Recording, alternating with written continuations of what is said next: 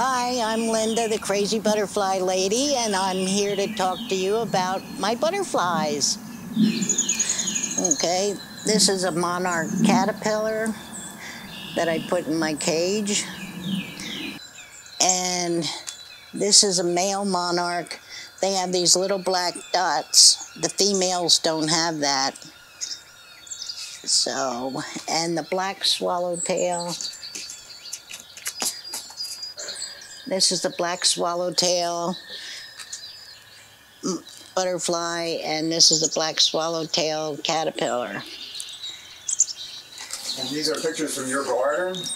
Yes. Yes, and the ones that are released. And here's some of the activity in one of our cages of the butterflies, and you can see the, that's just some of the bunch that's in the top of the cage.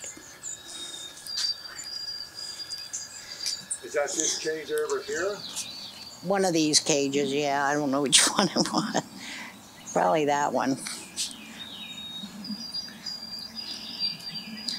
And this is two monarchs that we released that were in the grass.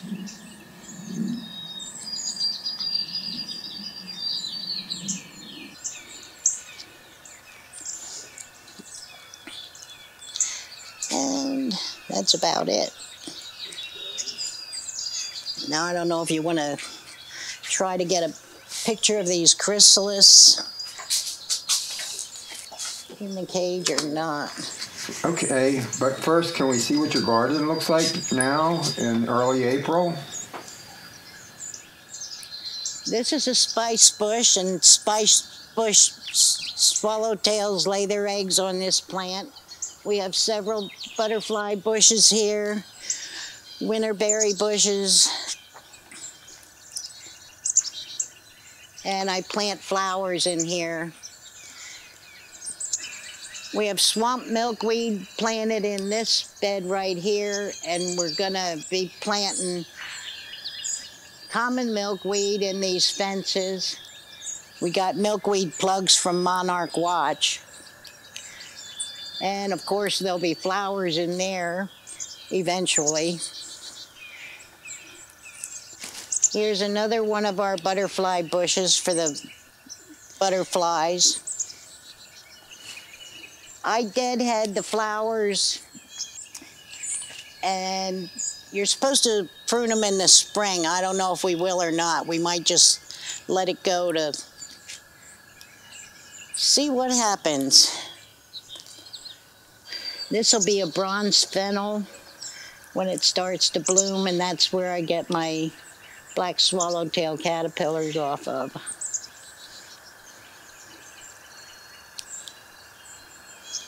Okay, we have more butterfly bushes along here. There's also common milkweed planted in here. And this is my greenhouse where I start my flowers for the spring and summer.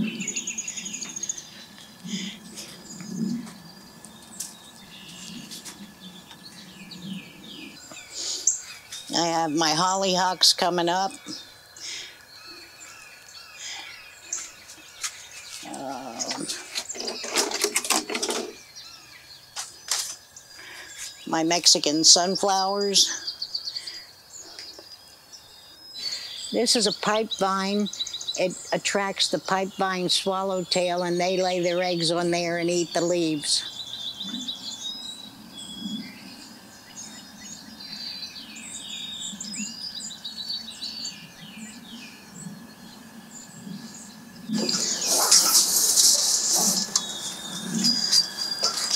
I can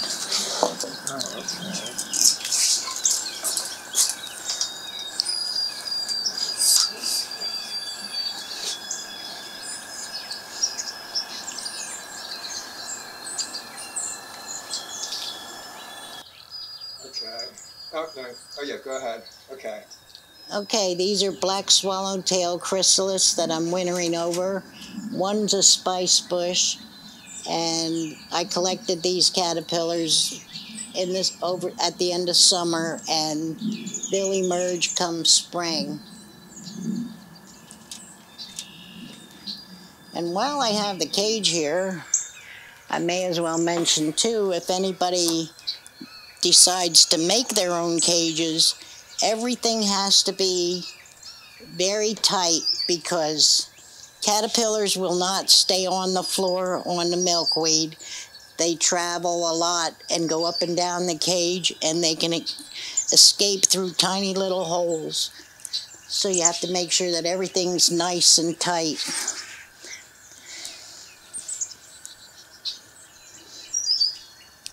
Here's a bee on my Mexican sunflower. There's my Mexican sunflower bush.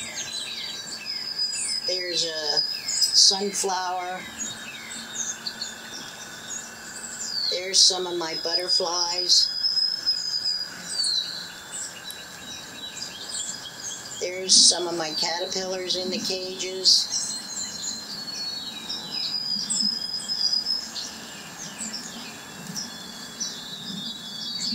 There's a black swallowtail caterpillar. There, this is this is a spice bush caterpillar. Yeah, I think it's kind of cool because it looks like it has two eyes. We'll share that one with you. So Linda, can I do a little interview with you just sitting there? and it just uh, thought I just would like to ask you a couple of things. Um, let me just set this quick. Hopefully, I know the answer. Well, it's what I well, I just want to ask you like how you got started. You know.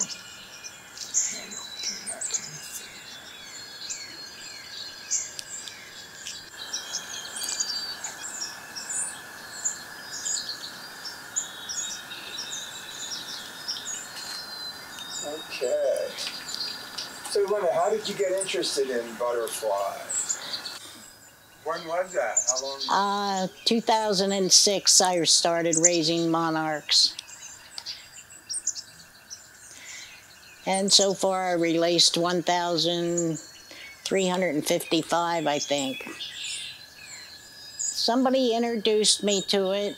Uh, they had caterpillars and going into a chrysalis, and I just thought it was absolutely amazing. So I started raising my own.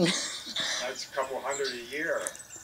Well, you have good years and you have bad years. One year I had no monarchs whatsoever. Um, at the beginning, I didn't have my own milkweed, so that meant traveling to find places that had milkweed, looking for butterflies and milkweed. Um, the one good thing about common milkweed is you can keep it. If you pick milkweed leaves, you can put it in a baggie after you washed it and dried it. You can put it in a baggie and keep it in the crisper drawer, and it'll last for over a week fine in the refrigerator. So if it's a rainy day and you don't want to go out and get leaves, you can just go in your refrigerator and get your leaves out, and you're good to go. Well, how did you start growing milkweed? Milkweed's hard to grow, right? It's hard to grow. It's very hard to grow. We first bought our first plugs from Monarch Watch. Um, we bought two trays of them, and it did fantastic. And I don't know if over the years or the ground or whatever, but they kind of went to the wayside now. Swamp milkweed's good, and that's easy to grow, and butterfly weed's easy to grow, but those plants have narrower leaves, and the common milkweed has wide weed, wide leaves, so it's much easier to feed them because caterpillars eat a lot. Um, they'll eat so much in a day, and they move around a lot and they eat a lot and they poop a lot and you got to clean out the cages well i clean them out once a day and i miss the cages if it's real hot and humid. And then I also have a cover that I put over top of the uh, plexiglass if it's a real sunny day so that the heat doesn't go into the cage and because caterpillars have tiny little holes along each side of their body to breathe from and if they get too much moisture they can drown if they don't get enough they can dry up the reason i raise caterpillars is because there's so much out there i mean if you really look at a milkweed plant there's ladybug beetles on them. I found a slug on one. Um, there's ants all over it because of the aphids. The aphids draw the ants, and ants will eat the eggs of the caterpillar. And there's a lot of things that will eat small caterpillars. Even bigger caterpillars will eat the small caterpillars, not realizing that they're there, and they just munch away and eat. And um, I just raise them so that I can release them and then they'll make more, lay, get more eggs and lay more eggs and then there's more caterpillar, more butterflies around. A female monarch can lay 1,600 eggs in a lifetime and their lifespan's only like three months. So, um, I figure whatever I can save out there, I'm going to save it. Because there's too many things that can, a wasp can kind of sting it, but they're actually putting their egg inside the caterpillar. And the caterpillar can last a long time. It can even go up to go into a chrysalis before this egg emerges and destroys the monarch caterpillar. So there's a lot that can go wrong. And like even these black swallowtails, this spring when I bring them out, a wasp might emerge from it because a wasp laid an egg in it. And then once that egg emerges from the in the chrysalis, it'll eat what's inside the chrysalis and a wasp emerges. That caught me by surprise because I didn't know about it until I did some reading you're not always successful, but there are many books to help you out. This book's Milkweed, Monarchs, and More, and that tells you a lot that goes on with milkweed. This book, The Life Cycles of Butterflies, is real interesting.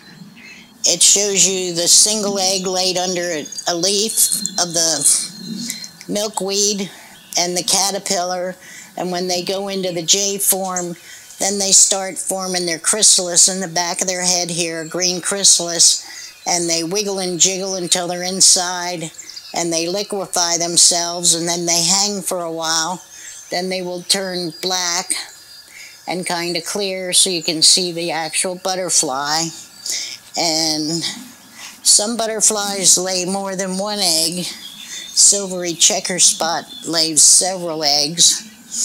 And on milkweed, a tussock moth will lay several eggs on a milkweed plant and they will eat caterpillars, small caterpillars. They will eat the egg and they will devour a milkweed plant. So they're not a good thing to have. But um, this book has lots of information in it. Um, it tells you um, how long they're in a chrysalis and how long they're in an egg and how long they're in a caterpillar and how long the butterflies live. And they have pictures here of caterpillars of different butterflies so you can identify them. And it explains to you about parasites and the wintering stage and it gives you there you can see the chrysalis the butterfly and the chrysalis. And when the butterflies emerge their wings are folded and wet and they hang from the chrysalis until they're dry. And then they start flittering their wings. And you don't release there's the chrysalis on the caterpillar. And uh, don't release them on rainy days, and it should be at least 60 degrees to release them. And this book, Milkweed, Monarchs, and More, tells you a lot of things that can go wrong. And here's a picture of a tachinid fly, which isn't good, and they drop maggots and they can harm the caterpillars also. Caterpillars really have a lot of enemies that people don't realize. That's why I start raising them as early as I can to save as many as I can. My my emergency kit in my car in the summertime is this bag with this bag to put milkweed leaves in and then I have this jar with holes in the lid that I can put caterpillars or eggs in this jar and bring home and raise more monarchs. That's how crazy I am. There's a lot of people that are raising butterflies, not only monarchs, but black swallowtails, painted ladies. Um, I just started with the spice bush, but you can't.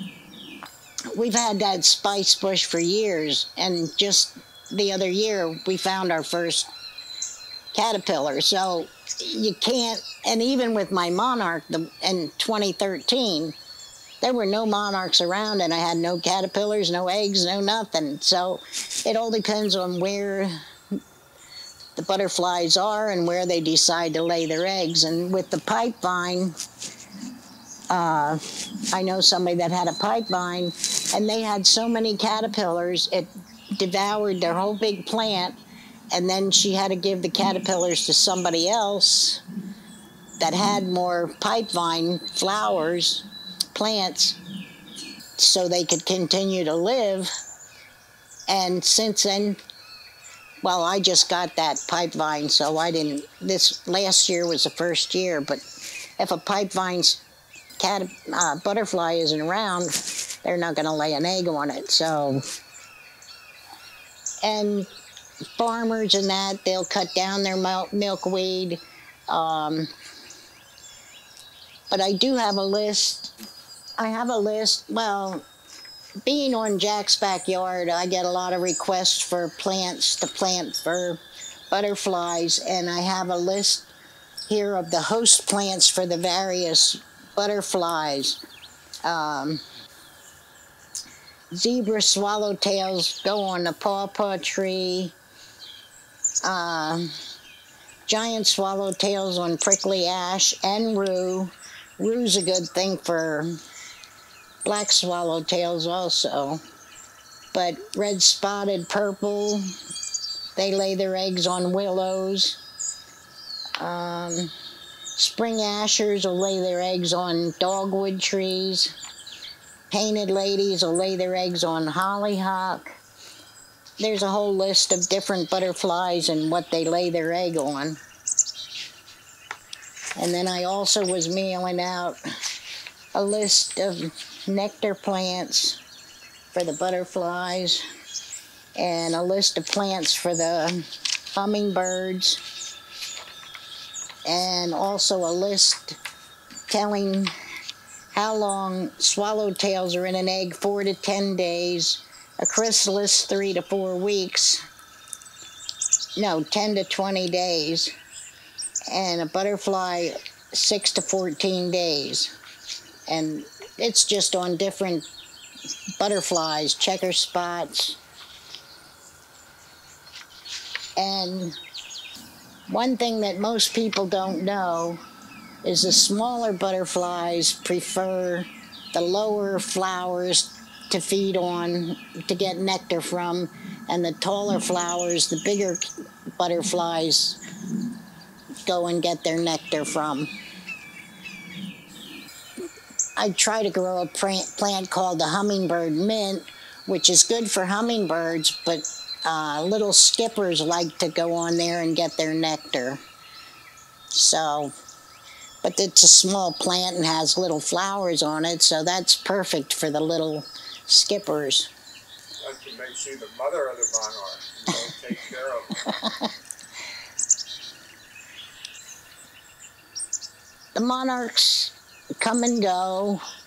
Um, there's a lot of butterflies that are at the different flowers and bushes that we plant. But um, it's just, I have cabbage whites right now, but the weather's too cold for butterfly, majority of butterflies. I've seen monarchs as early as late June, but that's unusual. Usually it's July when you first start seeing them or see eggs or see caterpillars. It's usually July. I did have them in June already, but I guess that was a rare. Must have been the weather and temperature and all that. Okay. Great. So, um, what can people do to help butterflies? My suggestion is I think everybody should at least raise at least one butterfly in their lifetime because they'll be amazed at what the process is to go through. Now, my whole idea is a lot of people will plant butterfly bushes, which is fine, and they want and they get a lot of butterflies, but you should plant host plants for some of the butterflies so they can lay their eggs on the host plant and reproduce and make more butterflies. That's my personal opinion. Host plants and nectar plants so that there's more butterflies. And I really encourage anybody to start raising butterflies, whether it be monarchs, black swallowtails, because you'll just be amazed at the whole process they go through and what all happens and how much they eat and just how they go through all their whole process of liquefying themselves into a chrysalis. It's it's just amazing. And you figure the more you raise, the more butterflies are going to be around because you raise them, they go out and lay more eggs, and then you'll have a lot more butterflies. That's my opinion. Sounds yeah. Maybe I will. Maybe, like I said, my sister has done this. She, she talks about it all the time. it's and it's it's an ex like I was ready to give up a long time ago. And when Harold LeBeau the one year gave me monarchs and I thought, now how am I gonna, you know, I didn't want to just release them in my yard for them to lay eggs on my stuff because I thought they might not hang around. So that's why I put a stalk of milkweed in a cage and had them in there for, I think I had them in there for two days. And they laid eggs, and then I released them, and they laid eggs on my plants. So it's just a great process. I don't know. It's just something I can't get it out of my system. I can't give up. I guess it's nature. But just to even watching an egg uh, caterpillar emerge, um, caterpillar emerge from the egg. I mean, they're so tiny. I mean, it's just a little sliver when I find them, and when they they molt like four times or so in their lifetime as a caterpillar, and they spin a silk with their prolegs to hang on to while they're molting. And um, that's why a lot of times when you clean out their cage, you will fit, find strands of silk. That's because they um, do silk so that they can hang on to whatever they're on at the time. So it's it's really interesting to watch the whole process. And then going into the chrysalis, that is simply amazing to me. How you can get a chrysalis at the back of their head, they hang upside down in a J, and then they get the chrysalis. And really, actually, they wiggle and jiggle till they get into the chrysalis and then they just are liquefied for a while before they start forming their butterfly form. And that's what you have over here, a liquefied one? No, these are all, these are liquefied already. They already went into that stage. But it's, it's just great to watch. And even when they emerge from their chrysalis, their wings are all folded and it, and they're wet. And then as the wings start to dry, then they start to open up their wings further. And then they hang from the chrysalis until their wings are fairly dry and then they'll start flitting around in the cage. And once they're completely dry, then you can release them so they can go out and lay more eggs.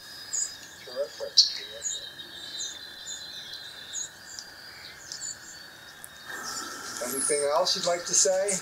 No, just come back in the spring in the summer when there's flowers blooming and Well, you know, I have my caterpillars. Hoping to have an Earth Day celebration at City Park in Reading in June.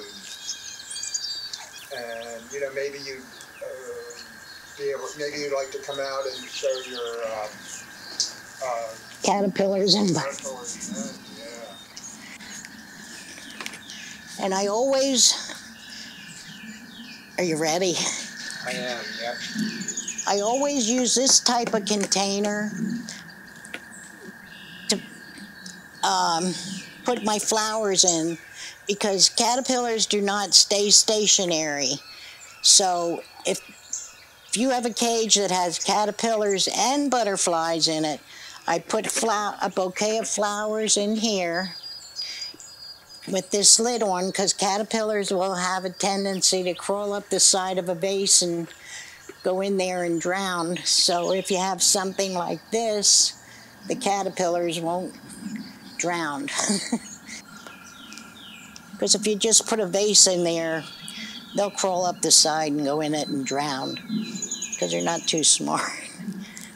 But I just use something like this, put a bouquet of flowers in there and put it in the cage for the butterflies. That way, if caterpillars are in the cage, they they can crawl up the side, but they're not going to go in there and drown because it's sealed and the flowers are in here. But caterpillars move around, and if you have just an open vase, they'll go in the vase and drown and die. So I always, it's crude, but Find that out the hard way. Uh, not really. Um, I I just I know how the caterpillars move around a lot, and I didn't want them to drown, so that's why I use this. And then I have a bouquet of flowers on my deck in case a butterfly's gonna be emerged, and then I can just put them on the flowers out there if they're ready to be released. And a lot of times they'll fly right into the pine tree. So besides flowers that I keep in here, I also will put a sprig of pine tree in there because they'll go to that and cling to that and because butterflies need nectar right away when they're released so